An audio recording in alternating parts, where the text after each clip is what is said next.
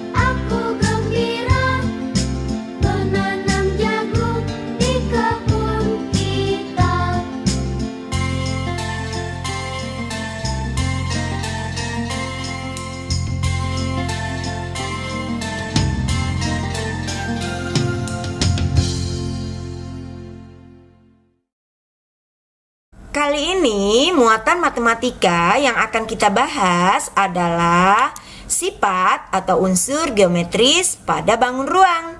Oke anak-anak, kalian siap untuk belajar hari ini? Tahukah kalian apa itu bangun ruang?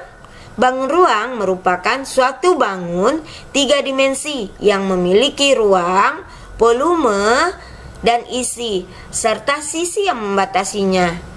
Nah, sebelum kita mengenal sifat atau unsur geometris pada bangun ruang, terlebih dahulu kita harus kenal bangun ruang yang akan kita ketahui sifat atau unsur geometrisnya. Di sini ada lima bangun ruang, yaitu ini kubus. Nah, kita lanjutkan yang kedua adalah balok. Ketiga adalah bola. Keempat adalah kerucut. Dan yang kelima adalah bangun ruang tabung. Oke, okay, do you understand my student? Selanjutnya, sebelum masuk ke pembahasan satu persatu sifat atau unsur geometris bangun ruang, terlebih dahulu kita harus paham sifat atau unsur geometris pada bangun ruang itu sendiri. Nah, kita mulai dari sisi. Sisi adalah bidang pada bangun ruang yang membatasi antara bangun ruang dengan ruangan di sekitarnya. Lanjut, rusuk. Rusuk adalah pertemuan dua sisi yang berupa ruas garis pada bangun ruang. Nah, terakhir adalah titik sudut, yaitu titik hasil pertemuan rusuk yang berjumlah tiga atau lebih. Oke, okay. you understand my student?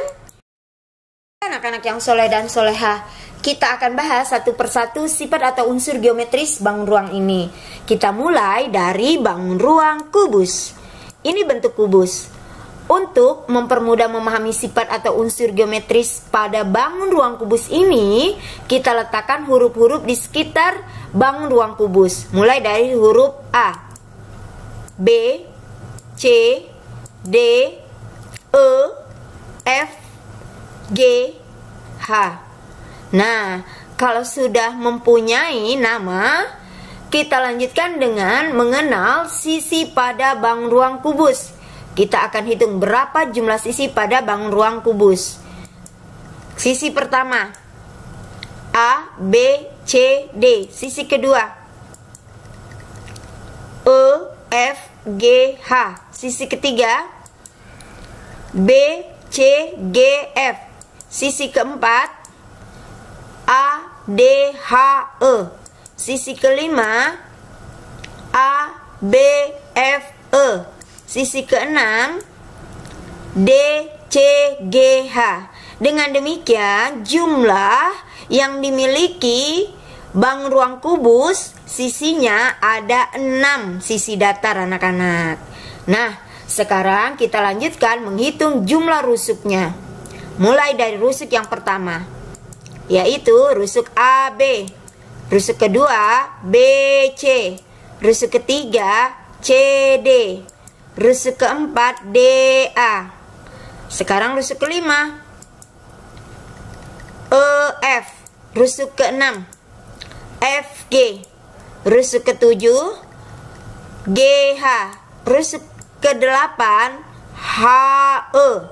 Rusuk kesembilan AE rusuk ke-10 BF rusuk ke-11 CG rusuk ke-12 DH dengan demikian jumlah rusuk pada bank ruang kubus ada 12 rusuk nah sekarang kita hitung titik sudutnya oke titik sudut yang pertama A titik sudut kedua B Titik sudut ketiga C.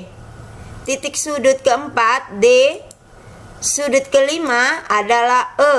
Sudut keenam F. Sudut ketujuh G. Sudut kedelapan H. Dengan demikian, jumlah titik sudut pada bangun ruang kubus ada delapan anak-anak. Oke, okay, do you understand my student? Nah, sekarang bagaimana dengan balok? Jumlah unsur atau sifat geometris pada balok hampir sama dengan kubus. Namun ada sedikit perbedaan anak-anak. Perbedaannya yaitu kalau kubus memiliki simetri putar, sedangkan balok tidak memiliki simetri putar. Kemudian kubus memiliki 12 rusuk sama panjang. Sedangkan balok 12 rusuknya tidak sama panjang. Sisi pada kubus merupakan persegi, sedangkan balok sisinya adalah persegi panjang. Sisi kubus semuanya sama besar, sedangkan balok kedua sisinya saja yang sama besar. Oke, okay, do you understand my student? Selanjutnya adalah tabung. Bentuknya seperti kaleng. Nah, di sini kita akan menguraikan sifat atau unsur geometris pada tabung.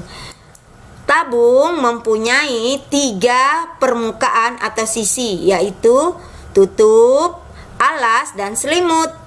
Sisi atas tabung atau tutup berupa sisi datar, berbentuk lingkaran. Nah, sisi bawah tabung atau alas berupa sisi datar berbentuk lingkaran juga. Sedangkan selimut tabung berupa sisi lengkung dan jika dibuka berbentuk persegi panjang. Nah, sedangkan rusuknya ada dua, yaitu yang melingkari alas dan atasnya. Nah, tabung ini tidak mempunyai titik sudut anak-anak. Oke, okay, do you understand my student? Sekarang kita lanjutkan dengan bangun ruang bola. Seperti ini. Nah, bola merupakan salah satu bangun ruang sisi lengkung yang tersusun dari tak terhingga banyaknya lingkaran yang berpusat di satu titik yaitu titik pusat bola. Selain itu, bangun ruang bola memiliki satu sisi. Sisi bola tersebut dapat disebut sebagai permukaan bola atau selimut bola. Sedangkan rusuk, bola tidak memiliki rusuk, hanya memiliki satu titik pusat dan tidak memiliki titik sudut anak-anak. Terakhir kita bahas kerucut seperti ini. Nah, kerucut terdiri dari bidang alas dan selimut kerucut. Adapun sifat atau unsur geometris pada bangun ruang kerucut sebagai berikut. Kerucut memiliki satu sisi alas berbentuk lingkaran dan satu sisi berbentuk bidang lengkung atau yang dinamakan selimut kerucut. Kedua, kerucut memiliki satu rusuk lengkung. Ketiga, kerucut tidak memiliki titik sudut. Dan keempat, kerucut memiliki satu titik puncak anak-anak. Okay. do you understand my student? Sebelum kita tutup pembelajaran kali ini, kita lihat benda-benda di sekitar kita yang berbentuk bangun ruang yang sudah kita bahas tadi. Kita mulai dari bangun ruang kubus. Benda-benda yang ada di sekitar kita yang berbentuk kubus seperti rubik, Kemudian dadu, kado, dan lain-lain yang berbentuk balok, lemari, kardus, penghapus, dan lain-lain yang berbentuk tabung, kaleng, gelas, tempat sampah, dan lain-lain yang berbentuk bola seperti bola basket, globe, kemudian kelereng, dan lain-lain yang berbentuk kerucut ada topping pak tani, ada es krim, ada tumpeng. Oke anak-anak yang soleh dan soleha Demikianlah pembahasan kita tentang sifat atau unsur geometris pada bangun ruang kali ini. Semoga bermanfaat dan menambah ilmu pengetahuan kalian. Oke, okay, let's finish our lesson by hamdalah. Alhamdulillahi rabbil alamin. Oke, okay, do you understand? Jika kalian sudah paham, please do it. Silakan kalian lanjutkan mengerjakan latihan berikut ini. Don't forget If you finish, you send it to madam. Oke, jangan lupa juga sholat, mengaji, dan bantu orang tua kalian. Tetap jaga kesehatan ya, karena kesehatan nikmat Allah yang paling berharga. Oke, wassalamualaikum warahmatullahi wabarakatuh. See you.